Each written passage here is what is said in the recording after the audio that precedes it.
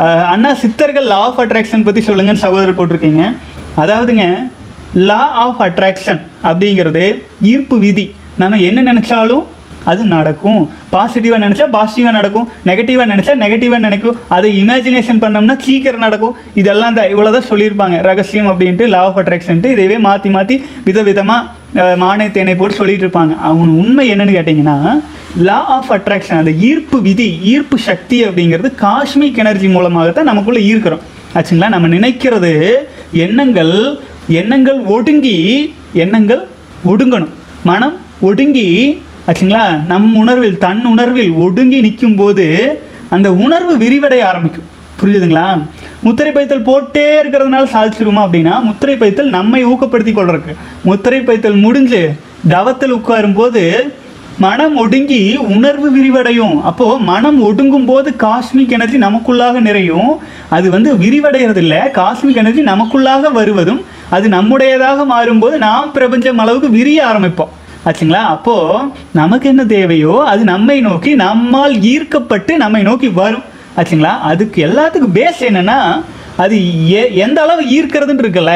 இப்போது எங்கிட்ட வந்து ஒரு சின்ன மூடி இருக்குது அதில் மழை தண்ணீர் வருது. சின்ன மூடியில் பிடிச்சி வச்சிட்டேன்னா ஒரு வாய் குடிக்கலாம். அவ்வளோதான் இல்லைங்களா? இதே ஒரு நூறு லிட்டர் அண்டாவில் இந்த காஸ்மிக் எனர்ஜி ஈர்த்து வைக்க முடிஞ்சால் ஒரு மாதத்துக்கு வச்சு குடிக்கலாம். கரெக்ட்டுங்களா? அது மாதிரி தான் நீங்கள் எவ்வளவு நாள் பிரம்மச்சரியத்தில் இருக்கீங்க? எவ்வளவு நாள் ஒழுக்கத்தில் இருக்கீங்க? அதை பொறுத்து முத்திரை பயிற்சலை பொறுத்து தவத்தை பொறுத்து விந்துஜய பயிற்சி மூலமாக எவ்வளவு தூரம் உயிரணுக்களை விரயம் செய்யாது நீங்கள் கண்டென்ஸ் பண்ணி வச்சுருக்கீங்கிறத பொறுத்து லா ஆஃப் அட்ராக்ஷன் வேலை செய்யும். ஆச்சுங்களா? வாழ்வு வளமுடன். இதில் இன்னொரு ரகசியம் இருக்குது இதில் ஒரு சின்ன கதை இருக்குது அது எப்படி நாங்கள் எதில் படித்தேன்னு ஞாபகம் இல்லைங்க ஆனால் சொல்லிடுற கதையை. பா சிவன் பார்வதி வந்து பார்த்தீங்கன்னா இமயமலையில் உட்காந்துருக்காங்க அவங்களுக்கு வந்து ஒரு முனிவர் வந்து நல்லா தவம் பண்ணிக்கிட்டே இருக்கிறாங்க. தவம் பண்ணிட்டு இருக்காரு. ரொம்ப பக்திமயமாக மயமாக இருக்கார் சிவசிந்தனையிலேயே இருக்கார். அப்போது பார்வதி வந்து சிவன் கிட்ட சொல்கிறாங்க ஐயா அவர் இவ்வளோ தவம் பண்ணிக்கிட்டே இருக்காரு. நம்மக்கிட்ட எதுவும் கேட்கவும் இல்லை. முத்திரை பைத்தல் மாதிரி அவர் எதுவும் சொல்லலை. ஆனாலும் தவம் பண்ணிக்கிட்டே இருக்காரு.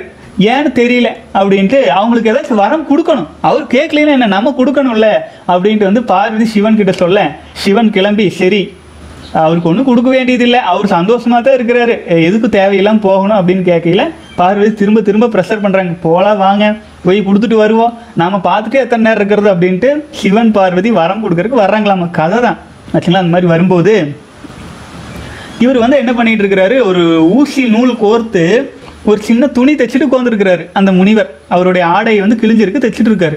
அப்போது சிவன் வந்து தோன்றணும்னா அவருக்கு அவ்வளோ சந்தோஷம். அடடா சிவபெருமானே சக்தி வந்திருக்கீங்களா? என்னை பார்க்கறக்கு இந்த எளியவனை பார்க்கறக்கு வந்திருக்கீங்களா? ரொம்ப ரொம்ப சந்தோஷம் ரொம்ப ரொம்ப சந்தோஷம் அப்படிங்கிறாரு அவரு. அப்புறம் உடனே வந்து பார்வதி சொல்றாங்க நீ வந்து நீங்க வந்து இவ்வளோ நாள் தவம் பண்ணிகிட்டே இருக்கிறீங்க. ஏதாச்சும் ஒரு வரம் கேளுங்களேன். ஏன்னா பலனின்றி சிவநிலையிலேயே உங்களுக்குள்ளாகவே நீங்க வந்து தவத்திலேயே இருக்கீங்க. ஏதாச்சும் ஒரு வரம் கேளுங்களேன். அப்படின்னு வந்து பார்வதி அவர் முனிவரை பார்த்து அவர் பார்த்து கேட்டோடனே அவர் வந்து உங்களையே பார்த்துட்டேன். உங்க கூடயே நான் சிவநிலையிலேயே இருக்கிறேன். எந்நேரம் சிவத்திலேயே இருக்கும்போது எனக்கு எதுக்குங்க இதெல்லாம்? இதுதான் வந்து எல்லாமே பாரம் தானே. எந்த ஒரு பொருளுமே நிரந்தரம் இல்லை. அது மேல ஆசைப்பட்டா என்னுடைய தவத்துக்கு தான் களங்கமாகும். ஆகவே வேண்டாமா வேண்டாமா உங்களை பார்த்ததே போது அப்படிங்கிறார். அப்போ பார்வதி இல்லை இல்லை நாங்கள் வந்தாச்சு. ஏதாச்சும் வரம் கொடுத்தா ஆகணும். கேளுங்க அப்படிங்கிறாங்க. அதுக்கு உடனே முனிவர் இருந்துட்டு சரிம்மா? நாங்கள் வந்து நூல் கோர்க்கிறோம் இல்லையா? அப்படி கோர்க்கும்போது ஊசி கோர்த்துட்டு இருக்கேன்ல அப்போ கோர்க்கும்போது நூலானது கூடயே வரட்டும். அப்படிங்கிற வரம் கொடுங்க அப்படின்னு கேட்குறாரு அதுக்கு உடனே வந்துட்டு பார்வதிக்கு ஆச்சரியமாக போச்சு. நீங்கள் ஊசியை எடுத்து கோர்த்தா நூல் கோர்த்துருக்கறனால அது நூல் பின்னாடி தானே வரும். அதில் என்ன வரம் இருக்குது அப்படின்னு வந்து பார்வதி கேட்குறாங்க அதுக்கு முனிவர் திருப்பி சொல்கிறாரு அதுதான். நான் என்ன செய்யறனோ அதுக்கான விளைவு என் கூடவே வந்துட்டு இருக்கும்போது இதில் நான் நல்ல விஷயங்கள் செஞ்சு எனக்கு நல்லது நடக்கும் தானாக நடந்து கொள்ளும்போது நான் எதுக்கு வரம் வேண்டி நிற்கணும் யோசிச்சு பாருங்க சிவபெருமான் கிட்டேயே முன்னாலேயே தோன்றுனா கூட எதுக்கு நான் வரம் கேட்கணும்னு கேட்குறாருன்னா ஒரு மனநிலையை பாருங்க. அதுதான் நம்ம சுயத்துல நம்முடைய சிவத்துல நமக்குள்ளாக தட்பரத்தில் சிற்பரத்தில் நிலை நின்றால் தன்னுடைய பரம் தன்னுடைய சிற்பரம்னாலும் தட்பரம்னாலும் நமக்குள்ளாக நம்மிடம் இருக்கும் உயிரணுக்களின் உள்ளாகையுள்ள ஆன்மாவில் நிலை நிற்க பழகி கொண்டால் என்னாகுங்க? நமக்கு என்ன தேவையோ?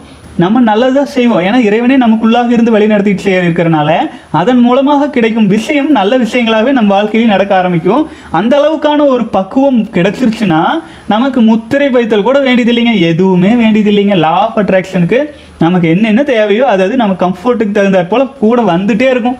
ஆச்சுங்களா? ஆகவே ஆரம்பதான் திருமூலர் சொல்லுவாரு மனமது செம்மையானால் மந்திரம் செவிக்க வேண்டாம். எதுவுமே வேண்டாம். மனசுக்கு திறம் கொடுக்கறதா மந்திரம். ஆச்சுங்களா? அந்த மனசுக்கு திறம் கொடுக்க வேண்டிய மந்திரமே வேண்டியதில்லை. அந்த மனமானது செம்மையானால். செம்மைனா இறைவனோடு ஐக்கியமானால் மூலப்பொருளோடு ஐக்கியமானால் மந்திரமே வேண்டியதில்லை. அப்படிங்கிறது வாழ்க வளமுடன் சகோதரர். லா ஆஃப் அட்ராக்ஷன் அப்படிதான். நம்மை நாம் தகுதிப்படுத்தி கொள்ளும்போது நாம் எதை அடைய தகுதியுடையவராக மாறுறோமோ அது நம்மை நோக்கி வந்துட்டே இருக்கும். நமக்கு தேவையில்லாத விஷயங்கள் நம் வாழ்க்கையின் இடர்பாடுகளாக இருக்கும் விஷயங்கள் நம்மை விட்டு தானாக விலகி போகும். தானாக விலகி போகிற விஷயங்களை பற்றி நம்ம கவலையும் பட வேண்டியதில்லை. எல்லாம் அவன் செயல் அப்படின்னு நம்ம போயிட்டே இருக்கலாம். ஆச்சுங்களா? வாழ்க வளமுடன்.